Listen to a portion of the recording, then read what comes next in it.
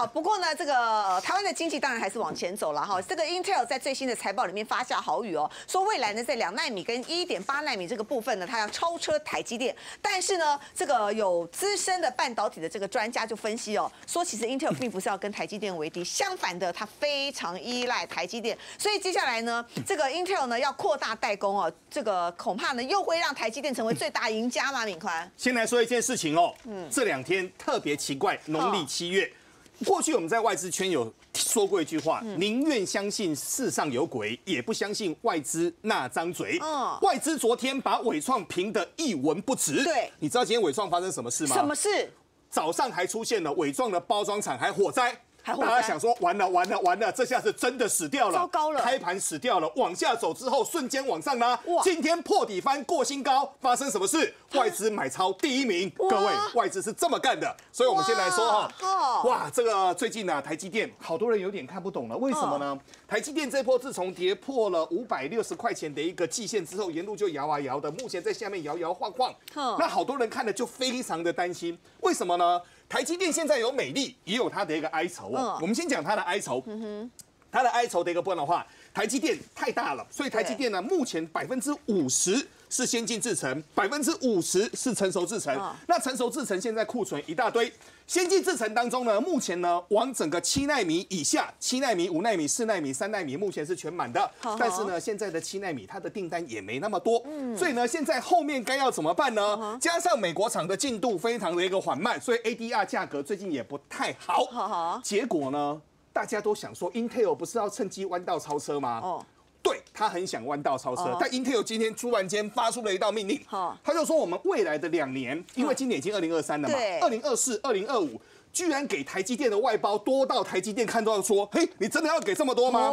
二零二五年呢，居然要给台积电九十七亿美金的外包，占了整个台积电的总营收是百分之九点四，所有的外资看到这份报告之后。见猎欣喜，好，发生什么事呢？这个是今天最新的哈。目前包括了美商的高盛，嗯，包括了日商的野村，请各位注意哦，这个叫 TP 哈，这叫做 Tucky Price。很多人就说目标价七百块，那要先跟各位说哈，大家要有个观念。目标标价七百块，不是现在七百块。对，我今天出一个报告说，这个报告七百块是十二个月目标价。所以呢，现在是八月嘛，那我们一手跟各位谈嘛，未来的两年台积电要进入所谓的一个大增长期哦。所以呢，这个日期请各位注意，它这个是二零二三年的八月三十号，这个是日本野村的一个报告。目前两家的一个架构是一样的，但重点来了，嗯。台积电这一波能够飞黄腾达，最重要的地方在哪边？其实还是在辉达。好，那辉达跟 Intel 全部都给了新的一个单子嘛。但现在呢，辉达跟 Intel 全部出了最新型的一个处理器。这个最新型的一个处理器现在都是四纳米。那我问各位，处理器他们出出了之后给台积电做，谁来帮他把它做成整台机台？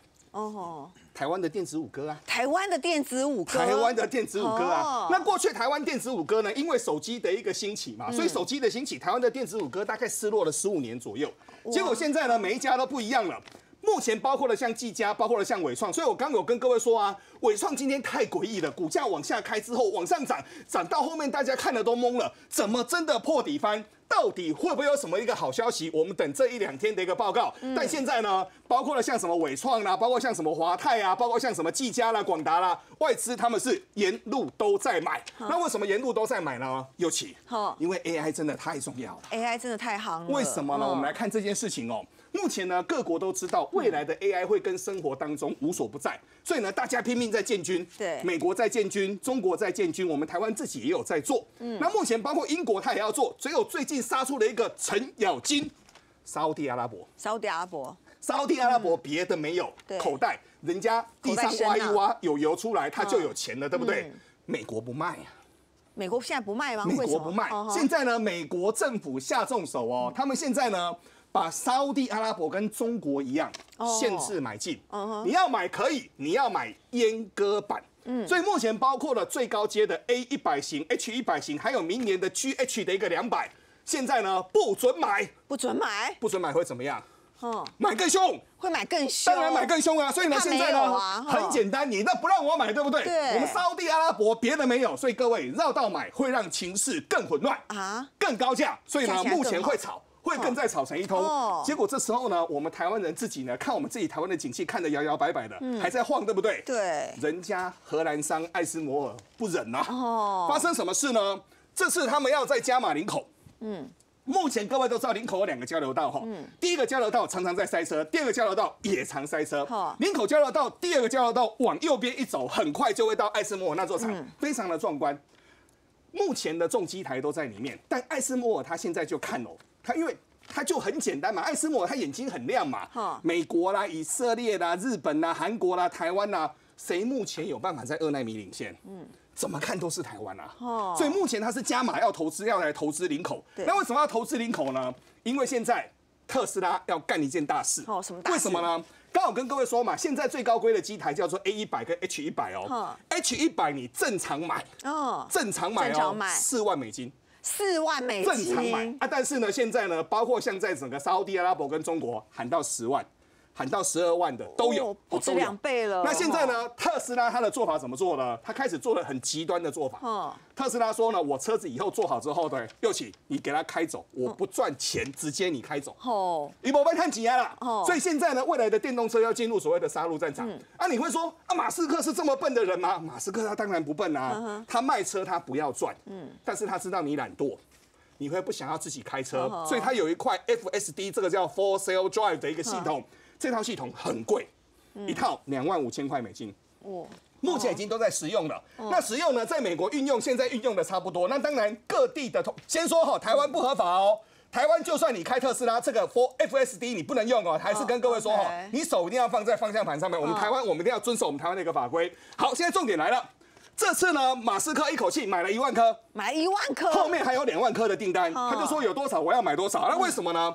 原来这个是十亿美金的一个豪赌哦，速度比过去一口气快五倍哦。那快五倍，先跟各位说哦，快一倍就吓死人了。这快五倍，这个是更大的一个必杀技哦。所以呢，为什么各国都在拼？所以呢，现在台台积电嗯疲于奔命啊，真的是疲于奔命。为什么呢？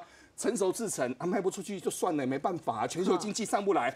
可是先进制程呢被订单追着跑，原因就在这边。好，我们来看环球金哦，环球金现在就说了，不行啊，不行啊，台湾现在的三代晶片太慢了。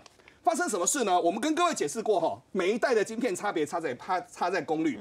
未来是电动车的时代，是电动电池的一个时代，是卫星的一个时代，是充电桩的一个时代。所以呢，未来的晶片。